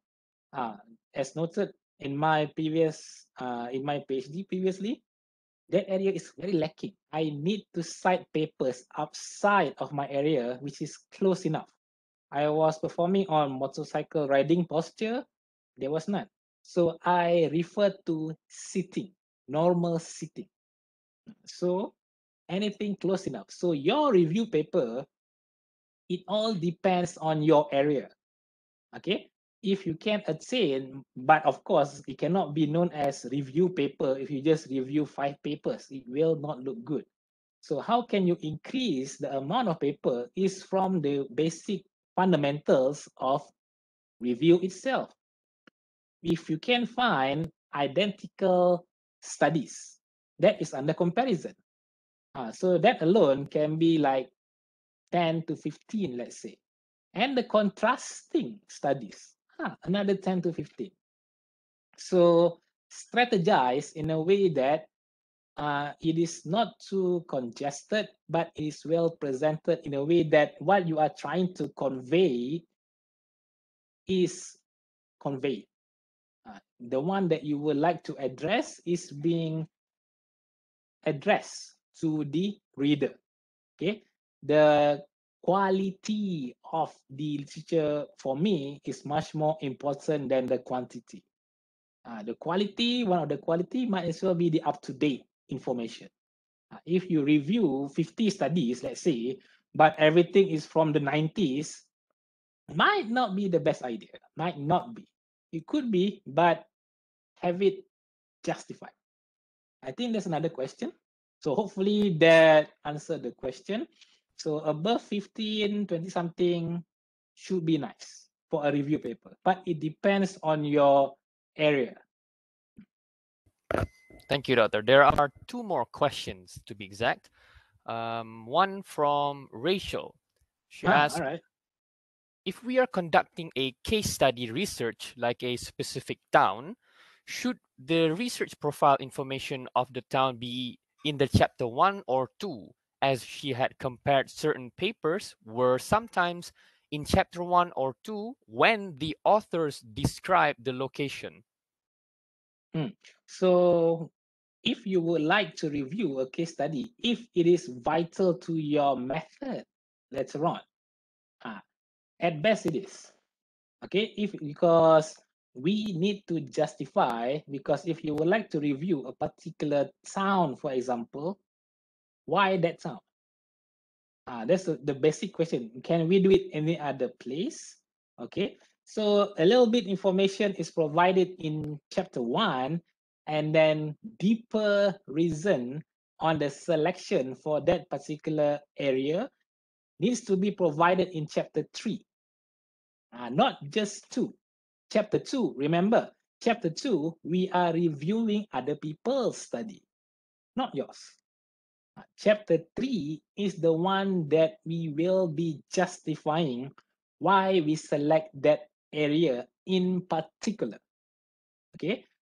Chapter two is everything which are not your study just yet.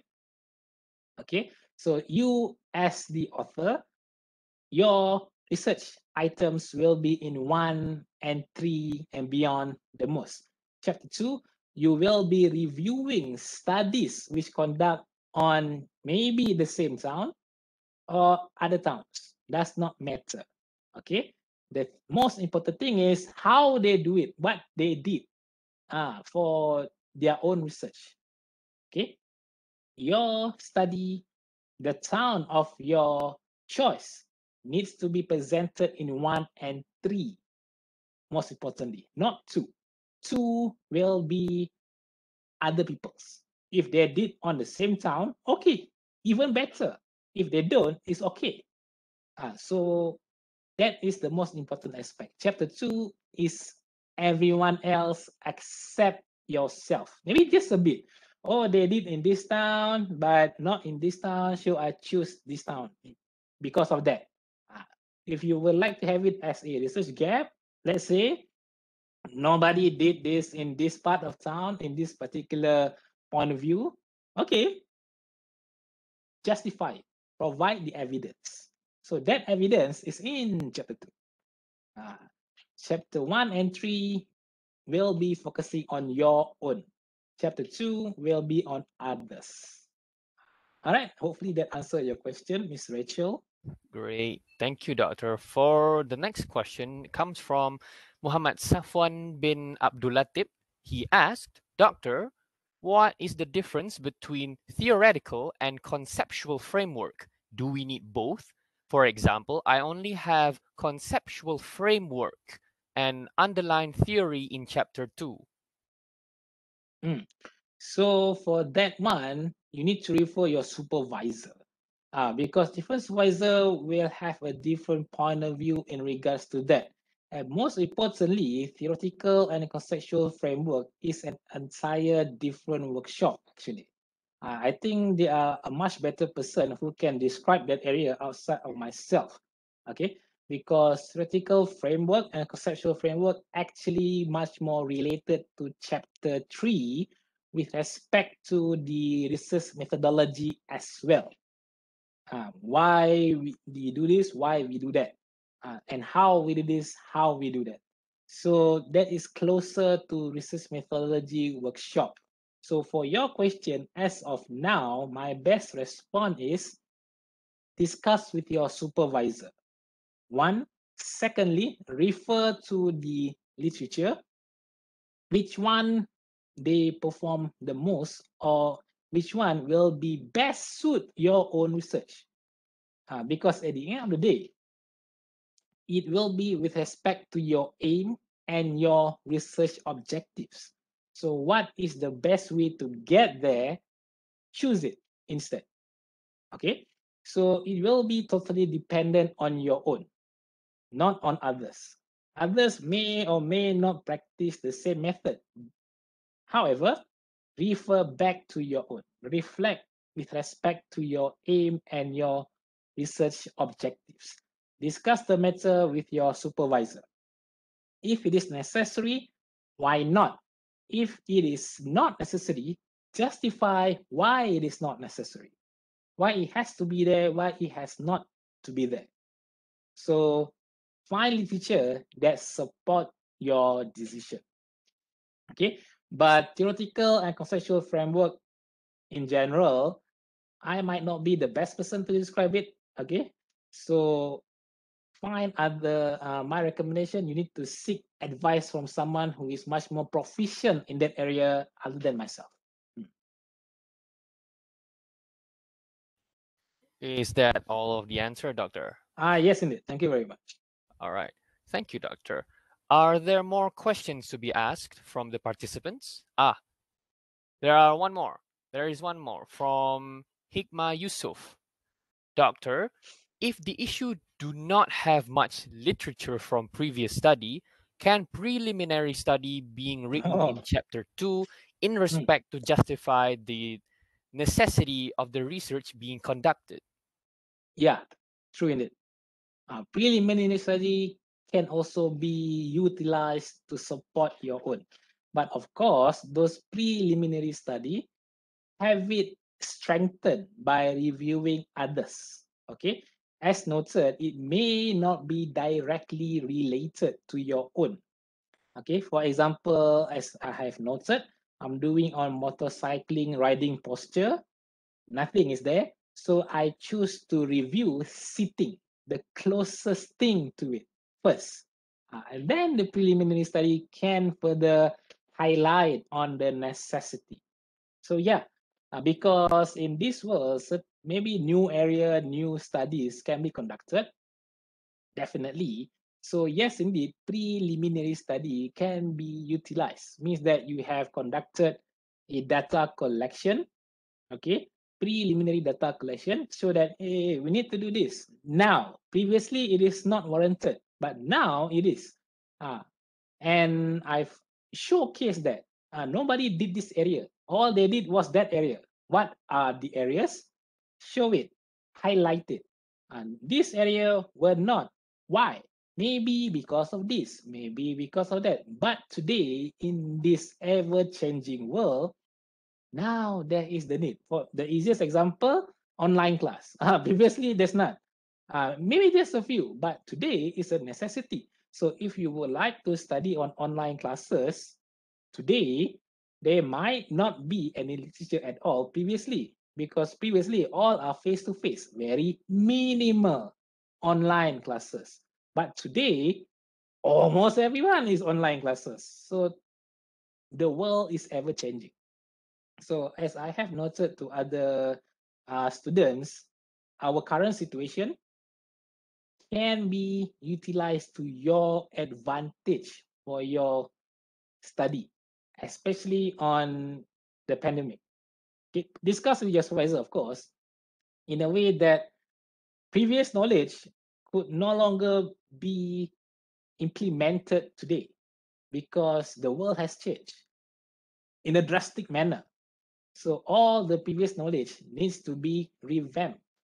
It needs to be updated. So previously, there's no need to do it, but now there is. Due to that, hence, you yes, you can absolutely. I do agree. If you wish to utilize your preliminary study to showcase the necessity for your PhD or for your master, yeah, that's a good thing to do. Good job if you are doing it. Means that you are proactive. So that's my answer. Thank you, Doctor, for that enlightening answer. Um, I would like to ask the participants, are there more questions to be asked before we move on to the closure of today's workshop? Uh, if you have any other questions, maybe not today, uh, feel free to drop me a text or an email. Okay. So, ah, FYI, these slides will be provided to the organizer. And if you wish to have the slides, yeah, I will give it in full. No changes at all. Okay. So, ac- as noted, academics should be fun. So, we need to continuously improve. Means that when I give it to you, I need to improve myself in providing better content too. Okay, so the next workshop, if it is in chapter two again, I'll be using a better slide as well. So this slide, you can have it, you can share it with your colleague if you want. Uh, of course, it's a free webinar as always. So I'll have it delivered to the organizer, or if you wish to have it urgently, I might say, you can contact me directly. All right. Thank you so much, Dr. Izzat. Um, before we move on to the closure, I have a couple of announcements to make. On behalf of the organizer, I would like to invite all participants to join our fifth workshop that will be held on August 25th, 2021. I repeat, on August 25th, 2021, which is on Wednesday from 3 to 5 p.m. The topic will be on Turnitin for instructors and students. The speaker for that workshop will be Dr. Nurhayati Abdul Rahman. She is one of the coordinators in the Division of Research and Industrial Linkages. E-certificates will be provided via email to all participants and training hours will be registered for all UITM staff. Secondly, to those asking for the slides and recording of this webinar, we will be providing it both to you via email. You can also visit UITM's official YouTube channel to rewatch the webinar once the video has been uploaded. Um, another thing, before we end our workshop today, I would like to remind the organizer that we have a photo session right at the end of the workshop. So I kindly ask all of the participants to turn on their camera and prepare themselves for a photo session. If you would, please turn on your camera now.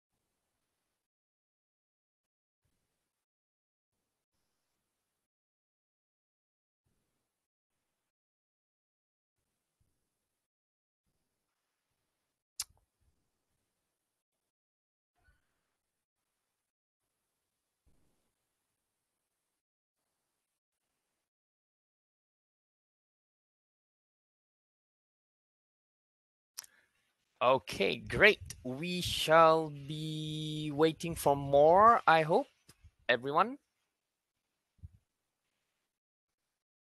If you can't, if you have a cam any camera problems, it's okay. We can see you in the chat. We appreciate your existence in today's workshop. Okay, let's take the picture on a count of three. Everyone smile to the camera. Three, two, one. Okay, we will be taking another one. Hold on. Three, two, one. Thank you so much for the camera and the photo session. And as for the closure part, thank you, Associate Professor Dr. Muhammad Izzat, for this motivating and insightful detailed explanation on the research proposal drafting for chapter 2. And thank you so much for all the participants who have stayed until the end of this session. We, as the organizer, hope this session has helped everyone to have a better understanding of today's topic. That is all the time we have for today's workshop. And once again, I would like to take this opportunity to thank our speaker, Dr. Izzat, for being here today and for sharing his free knowledge with us. And I would also like to thank all the participants for participating in the evening's workshop. Before we officially end today's session, the organizer would like to remind all participants to fill their particulars for attendance and feedbacks via the link provided in the chat box. So the e-certificates, slides, and recordings of the webinar will be provided in the chat boxes. Uh, sorry, in the email. Forgive me for that. Uh, training hours will be registered for all UITM staff. That is all for now. Thank you and have a nice day.